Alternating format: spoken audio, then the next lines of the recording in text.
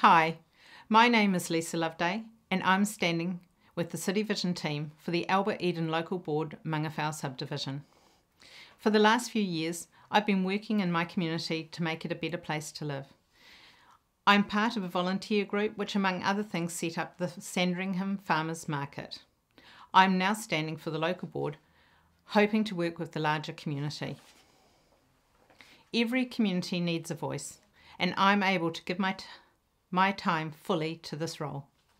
Auckland City is huge and it's easy to get lost battling with bureaucracy.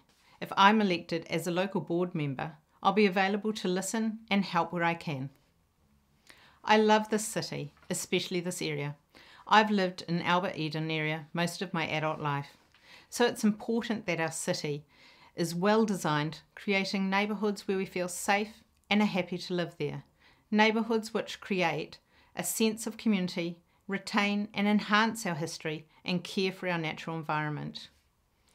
We need to be able to move around the city easily, and I'll be working towards providing safe, efficient, cost effective transport solutions across the board and our city.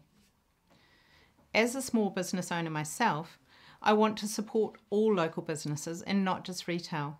I believe that we support our local if we support our local businesses, we keep our profits in our community and we'll all end up benefiting from this.